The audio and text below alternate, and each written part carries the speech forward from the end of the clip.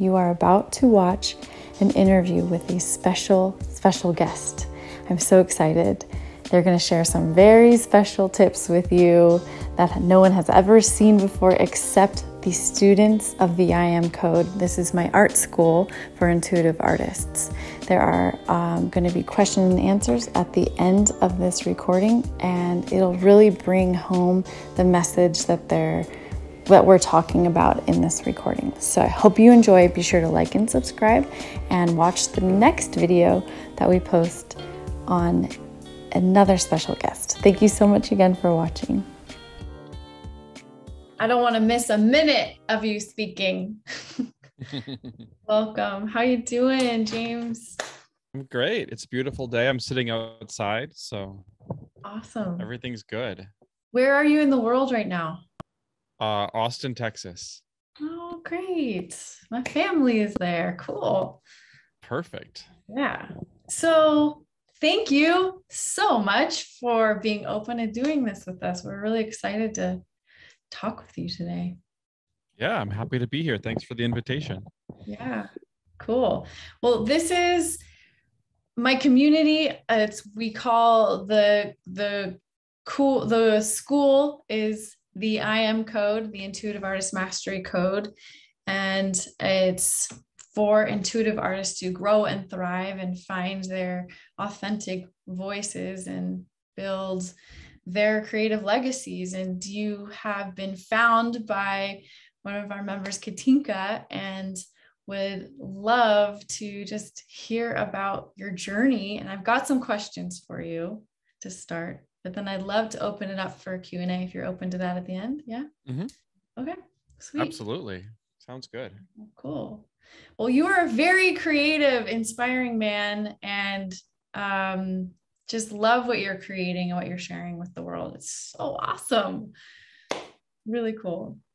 So, what started this journey for you? When did it begin, really? Uh, I mean, I've always been a creative in some capacity, you know, uh, whether that's, you know, just drawing as a kid. And then, uh, you know, I grew up in a very um, small town in Minnesota. And it was just like, I had just lots of space to like just wander and like let my imagination go free. Like, um, so we, my friends and I were always just making up adventures and just like, you know, going on, uh, you know, fun explorations and stuff. So I was always just kind of imaginative and creative. And uh, when I was in like probably like middle school, like late middle school, I found like all of these poetry books that my mom that my mom had around the house and I started reading poetry. And uh, I don't know what like connected me with that, but I just resonated with it. And uh, I was probably like 14 when I started writing my own poetry. And um and I just like wrote poetry like all the time after that, like in high school. Like I had just like notebooks piled up with poems. Wow and um and at a certain point i like started like painting and going back into drawing. And when it was time for me to kind of like go to college or whatever i chose to go to art school because it just seemed like the most feasible um option. Like it just seemed like to do something creative like that. I don't know why i didn't choose to do like writing. I just felt drawn to do the like the like the arts like i felt like graphic design was a good um thing to explore um is that what you focused on? Yeah yeah yeah yeah. So i was i, I went to i majored in graphic design at an art school in minneapolis and uh, began a professional career as a graphic designer. So i worked for like advertising agencies and and things like that as a as a designer and uh, and then I kind of got bored with that, so I, I I switched to doing like brand strategy, which is more just kind of like holistic creative thinking where I was doing writing and I was like I was like naming brands and like coming up with like taglines and like marketing campaigns and all the kind of brand strategy stuff which was like a different like creating creating like pr- like PowerPoint presentations and stuff like that and I did that for a long time and I I moved to New York, to New York City and I was doing that in New York City and I guess while I was doing all that stuff, I uh I started to like explore like more like more deeper like types of spirituality and uh, like Buddhism and things like that and that's when I started working on my own like my first book kind of came out of that called shit your ego says and uh, so I wrote that while I was still like working in advertising and um and then like the memes the like my my my internet art and like my memes and stuff like that that came like a little bit more recently. I was just because you, you know we all share our our thoughts and work on social media. And um at a certain point it was like during the pandemic when i just like the world was so crazy and upside down that like normal writing and like normal forms of communication didn't seem to express the craziness that we were all living in. So but then i like started to like experiment with like making memes and like that was like a different something clicked with like being able to just um communicate the absurdity of the world through this like weird artistic format. And uh, that's when my platform really started to, to, to, take off because you know it turns out that memes are pretty popular online and people like to share them. So yeah that's kind of what and then i was write, writing a lot of poetry at that time for the same reason. It was like poetry has a way of like with nuance and subtlety to like i could i could communicate the weirdness of the world in a way that you can't in just like regular communication. Mm-hmm. There's something like more fuzzy about poetry where you can really express it's not as literal and yeah. anyway all of that kind of came together uh, and then just recently i um, i published my second book which is a collection of poems and memes that were all inspired by this past year and basically the the craziness of the of the world that we're living in today i love that book i've been looking at what you're posting about it I, and i can't wait to order it it's thank awesome you. yeah thank you where's the best place for us to order that because i know i saw it it's like there's a link on your site to um a specific place to buy it, but then it's also available on Amazon. Do you have? I, I don't think it matters. It's available uh, through my publisher, and their their link is in my bio on Instagram, and it's called um it's called well the store is called Shop Catalog, and it's also available on Amazon. But and they're I'm pretty also sure. Publisher. Sorry. Huh? They're also the publisher. Um. Yeah. Well, the publisher their their name is Thought Catalog. Gotcha. Their their store online is called Shop Catalog. Um, so it doesn't matter where you buy it. I think that because it, it's Amazon is they're just using Amazon as a like a dis a dis distributor. So like it's the same difference. I don't think like Amazon is selling it. I think they're using Amazon as a distributor. So whether you buy it for Amazon or from the publisher, I think it all. I'm pretty sure it all evens out. Okay, cool. Awesomeness. Mm-hmm. Oh, cool. I want to. Uh, I was gonna ask you this more at the end, but I I want to jump into it now because we are all really excited about this, and you're already dabbling in it, and it's the NFT part of what you're working on. Can you give us mm-hmm. like a quick rundown of like what does that even mean, and how are you using it, and how is it going for you? Yeah, well, I'm just starting. I mean, I haven't even sold any NFTs yet. I'm just, I haven't like, I'm just starting to like put a collection together. So, do you guys know what like NFTs are high, like on a high level, or is it all kind of new? It's fairly new to us. Like, let's just do like a yeah basics of what so you. It's it's new to everyone, and I'll do my best to explain it. Um, but I'm sure you're all familiar with like cryptocurrency and so basically what enables cryptocurrency to be so like secure um, is is it's built on this blockchain technology. So it's hard to explain, but essentially there's this ledger that exists in you know the cloud. And a blockchain ledger is so is more secure because it's got there's like thousands of different kind of computers that all mirror each other. So you can't like hack one computer um, because all the computers are mirroring the same like information. So it's essentially like unhackable um you know like it's like it's like it's like a an advanced version of the internet. It's like the it's almost a blockchain is almost like the internet part two i think. So it's really secure and there's a um now blockchain is um is kind of has inspired a new form of art and the basic premise eh, nft stands for non-fungible token and what that means is non fungible just means it, it can't be repeated. So, like, for example, you can make a lot of copies of the Mona Lisa, like, like if you have like a online image of the Mona Lisa, but there's only one Mona Lisa. Like the, the Mona Lisa is non fungible, meaning you can't, you can repeat an image of it, but you cannot replicate the exact Mona Lisa. It's, you, it's impossible. There's only one and you can't do that with digital stuff because digital's you can just copy and paste copy and paste copy and paste but nfts it's a way to like program the art into the blockchain so essentially you're creating a non-repeatable version. So even though you could repeat you could like take a screenshot you could repeat the image it, it, it gives like proof of ownership of this one thing.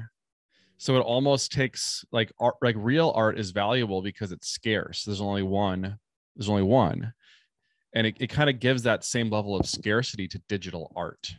So cool. So it's like because that's what scarcity has value so it's a way of building in scarcity into digital art and it's been it's gotten really popular really fast and yeah. now people are making you can make an nft out of like virtually anything anything digital. Um, I think you can even like probably do like an NFT version of a book. And uh, like for example, I did the first. You can do like a video. A video can be an NFT.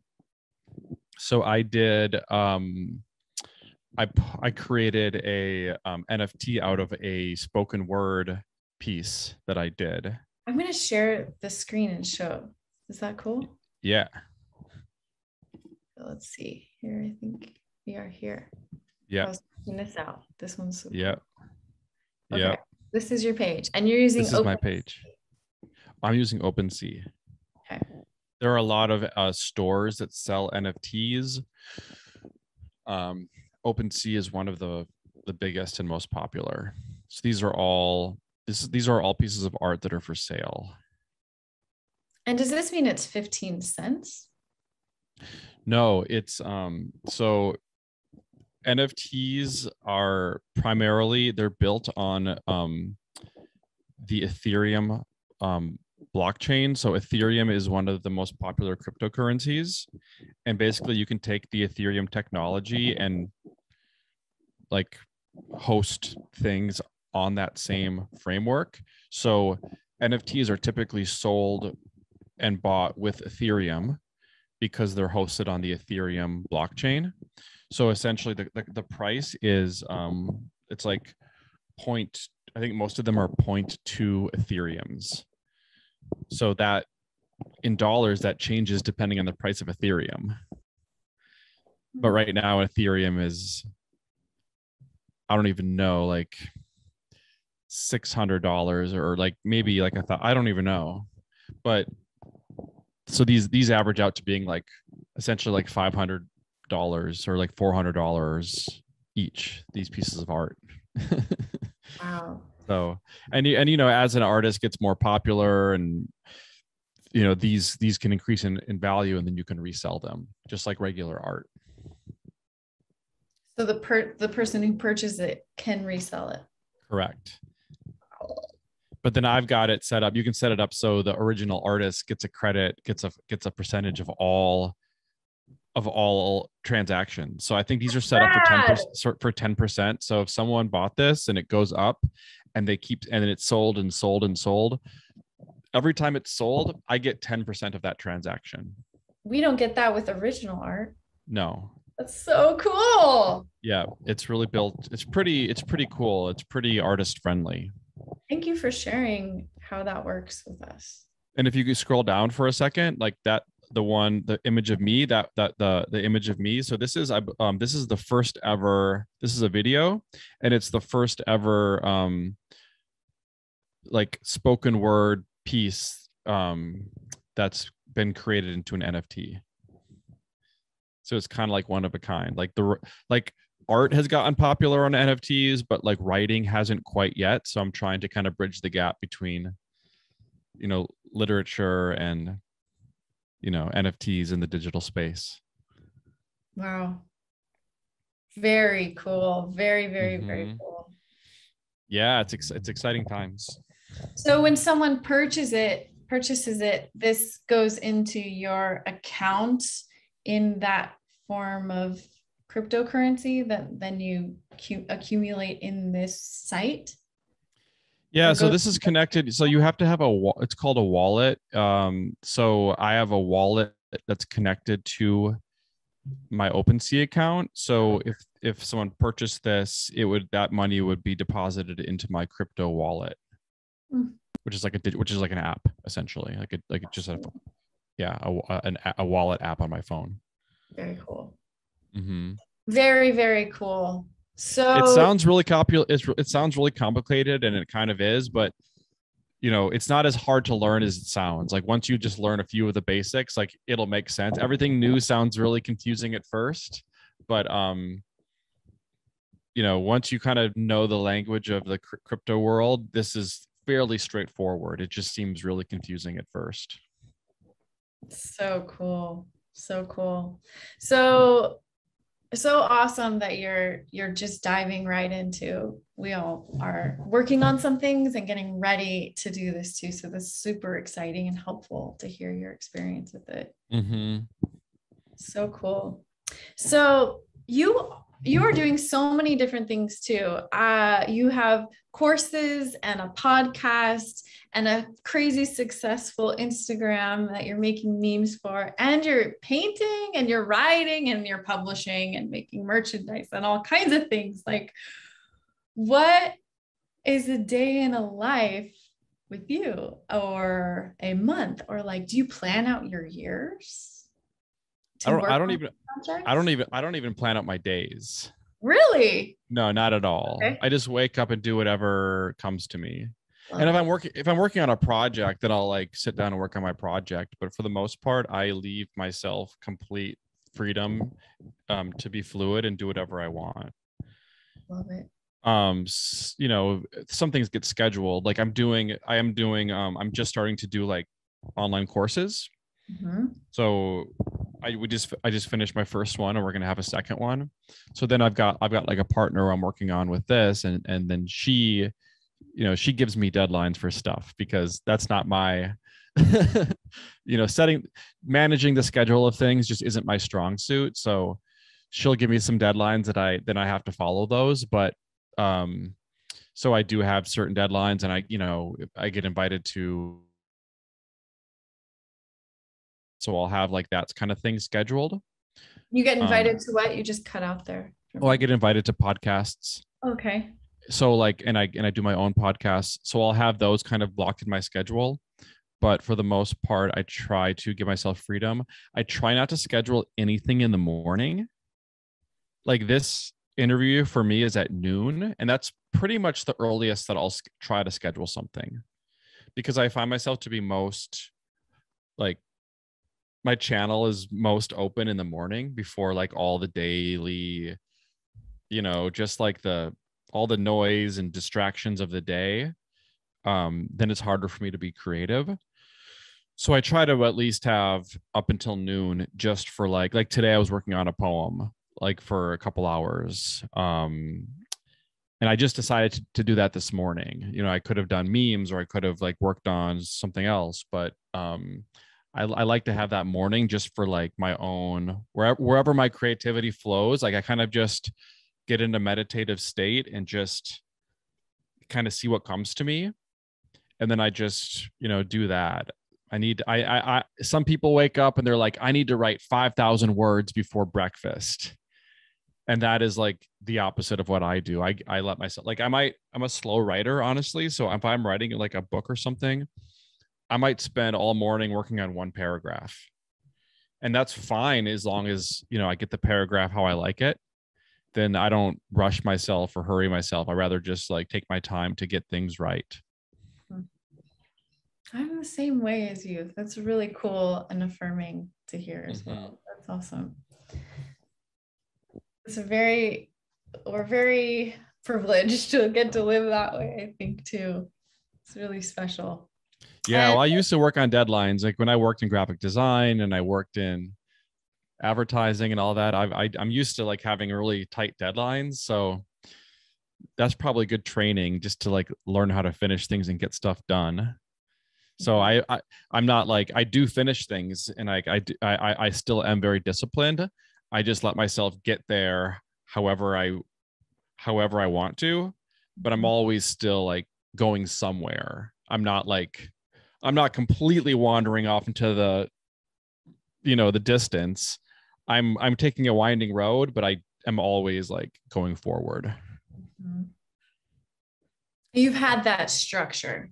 So you you're like like that's that's the the trails like paved and grooved and yeah i think so because i think work i mean i think i was just uh it was good even though I, i'm glad i'm not doing it anymore it was really good practice to work you know in a you know in in like advertising where my creativity had a lot of deadlines. So i needed to learn to finish things and get it done and you know so that that that that was just you know because because i think for a lot of creatives finishing things is a challenge. It's like they can start things but it's like finishing it is is where the block is. So if so some people might need to have strict strict deadlines in order to um, push them to finish because that's might be a block for them you know?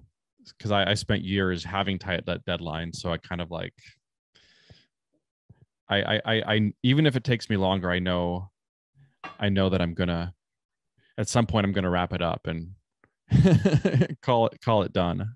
Right right is that something you're focused on in your course helping what I mean, it's called uh, Flow and Form, right? Is the main course. Yeah, exactly. So my friend Christina and I were launching. It's kind of like a school um, called Recreation Studio, cool. and it's like we're going to teach various types of like creative courses, and the main one we're doing now is called Flow and Form, and there's really it's really two courses, Flow and Form, and it's kind of like the yin and yang of creativity because both are important. Like the principles of yin and yang are, are universal. You could also call them the principles of the feminine and the masculine. And the yin or the feminine, that's the flow um, part of the course. And that is the, you know, um, being receptive and open to ideas. It's like giving yourself rest and, um, you know, spending time in nature and just really essentially connecting with your intuition.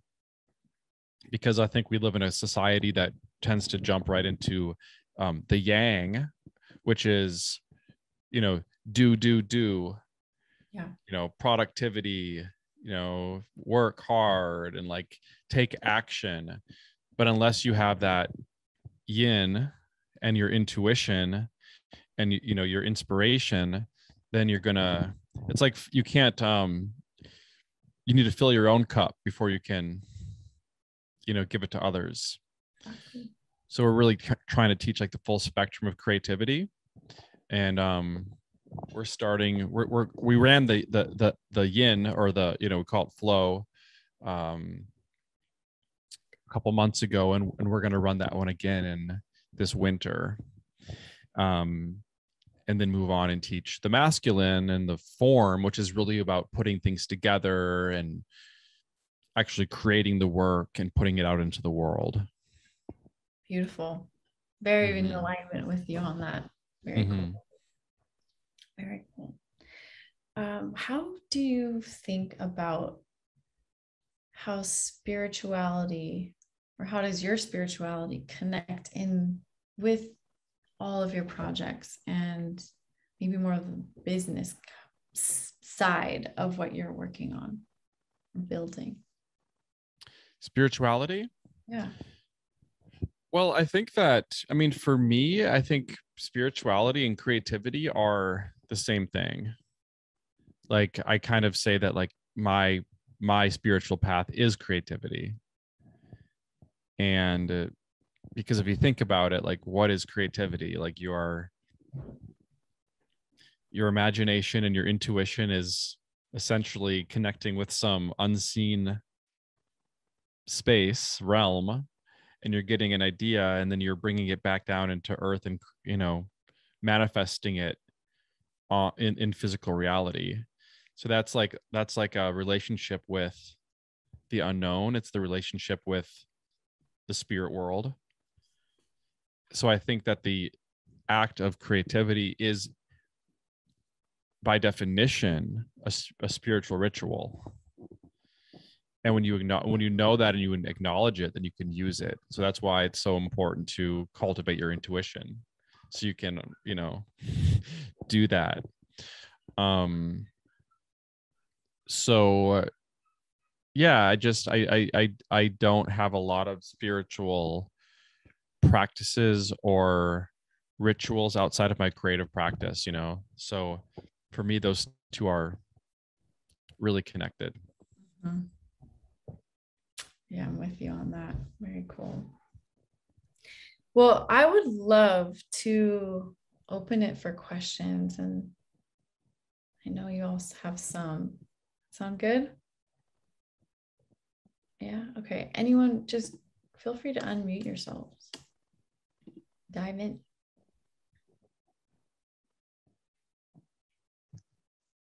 Hello. Um, I do have a question. Um, I was wondering what your idea or vision um, is for like how artists can help change the world or you know like uh, empower uh,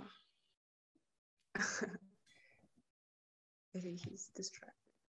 No, no, I'm listening. Okay, cool. Um, yeah, how how artists can like inspire or um, empower, or I guess feed the the vision of a new paradigm, or because mm. I feel like your art is so like involved in that, you know, creating a bridge. Um, yeah. Yeah, I think that's super important like basically before anything can happen in the world like it has to be imagined first